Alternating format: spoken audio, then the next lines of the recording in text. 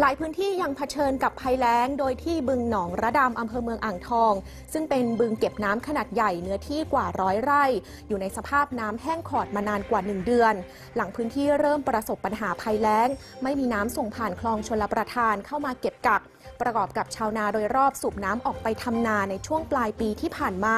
จนน้ำลดระดับลงอย่างรวดเร็ว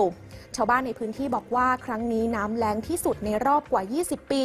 ซึ่งขณะนี้ชาวนาหลายรายหยุดทำนา แต่บางรายก็ยังฝืนทำโดยสูบน้ำบาดาลขึ้นมาใช้